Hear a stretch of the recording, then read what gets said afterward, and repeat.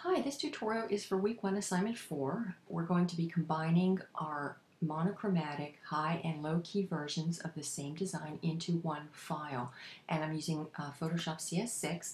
So the first thing I want to do is um, make sure I have two versions of the same exact design and they are accurate.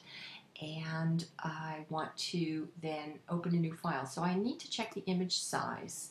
The image size is pretty large and I want to save my original large scale at a high resolution so that when I do need to go back and make revisions, change the color for if anything needs to be corrected, I can do it at a higher res resolution version and not get pixelation and jagged edges which happens when trying to work off a really small version of a design. So let's um, double this and then add a thousand pixels for a border here and a thousand pixels for a border there. So my new file is going to be 6000 by 4333. So I'm going to cancel that and go to new, open a new file, and I want to go 6,000, right, double, plus an extra 1,000, and this is going to be at 43, 33, okay.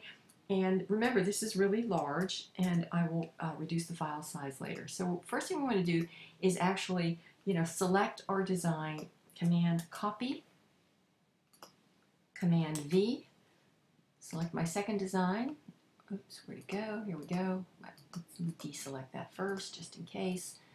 Okay, Command Copy, Command V, and because it works better if you don't touch the other design first. I've been having some issues with it. Um, you know, copying the first one uh, the second time. So now I'm going to click on the layer and move it. So I don't know, you know, there are quirks in, in software that can really drive us a little bit batty sometimes. It doesn't always work, but sometimes closing out of the program will reset it and you're good to go. So now I have my two designs lined up. The next thing I want to do is uh, add a text box and notice that I'm at 30 points. That's pretty large uh, for, but this is a huge file size. So it, it the, the text should fit and it's a, a nice kind of gray, neutral gray. So I'm going to add a text box here and I'm going to type in, this is my low key version.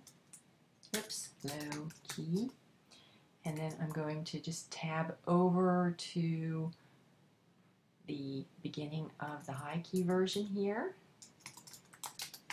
And we don't want the, the, text to touch the design. Anything that encroaches upon an artwork can be visually distracting. I'm actually going to, um, now I think I'm just going to apply that as is. And then I'm going to add another text box down here and put my name down here. Okay?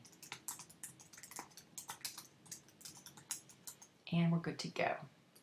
Okay, so I have my, my design is ready to go. Now I want to um, save it. So I'm going to uh, save this and um, I'm going to just save it in a large version and call this um, Coniglio Josephine.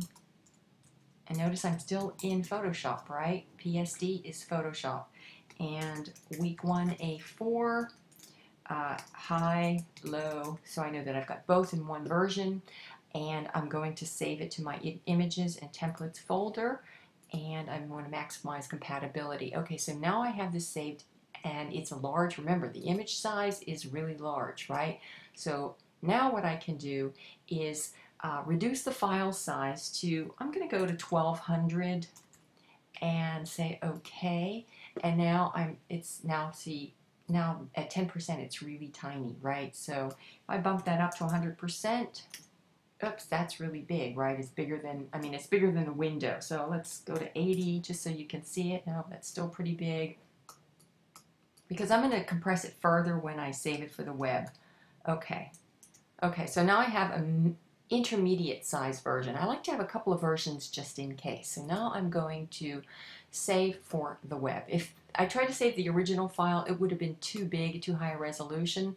Now, um, I want to make sure I'm at JPEG, and it's in preset high. These are the presets. The compression quality is high and optimized for the web, and I want to make sure that this toggle is checked so that I do not get distortion. And I'm going to reduce the file size to 800, and, well, that's a little small at 6 let me instead make that at 600 pixels. It's going to make that a little bit bigger and, you know, close enough, right? But I want it to be large enough that you can see the details in the design, not so small that, um, you know, it becomes difficult to see it. So then I'm going to save it and here we go. I want to save it in my uh, images and templates file and now I have uh, it saved as a JPEG. It's the same title, Coniglio, Josephine, week one, assignment four. And you know, I don't really need high and low because they're both there in the design uh, uh, or in one design uh, file format. So Coniglio, Josephine, week one, assignment four, JPEG, and it's ready to upload to the classroom. And um, something already exists in that name in that file location, but I don't need it, so I'm going to say OK. All right, so I got ran a test run, had the same version there. I could double check that, change the file title to version 2. If this were my second version, I didn't want to lose the first one. But for demonstration purposes, I didn't really need to save anything except the one. So now I am ready to upload this to the classroom. All right, if you have any questions, um, please post them in uh, week one, Problems and Solutions.